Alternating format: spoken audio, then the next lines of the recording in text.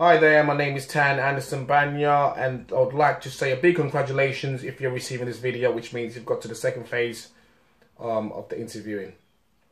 So obviously we recognise that you have obviously got the right enthusiasm or the right qualities we need for a personal trainer to join the um, H&A fitness team.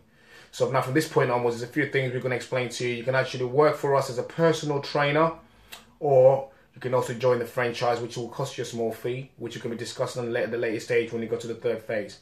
But if you're just working for us as a personal trainer, what we'll offer you is a uniform which you have to pay for for yourself. But once you are part of the team, we will put clients your way. We also um, help you build up your own boot camp where you earn a lot of money, but you also earn money from commission by getting your own clients as well.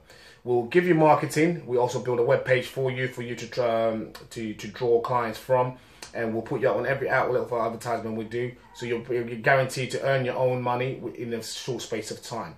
So now from this phase onwards, you need to um, make up mind of which what which direction you want to take uh, your um, your career. If you want to be a personal trainer, whether you want to join a franchise, or you just want to work um, as a personal trainer for us.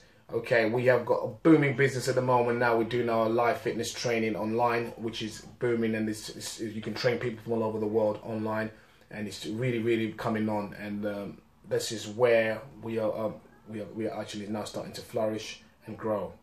So um, I'd like you to consider which way you want to take it, and get back to me. And what I will do from this point onwards, I will interact with you through email. And once we decide we're going to meet on a one-to-one basis, I will call you and we can uh, arrange an interview from that point onwards.